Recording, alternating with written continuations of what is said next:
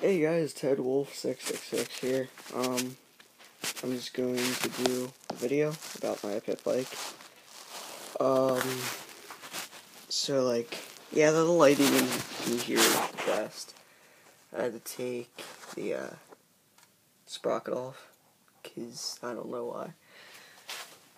I also took the chain off, um, sitting in oil, and um, that's the sprocket right now.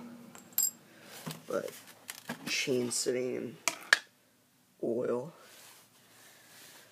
Um, yeah, I'm pretty much gonna put it all back together tonight, and if I can, I will post a video of it, and yeah, see.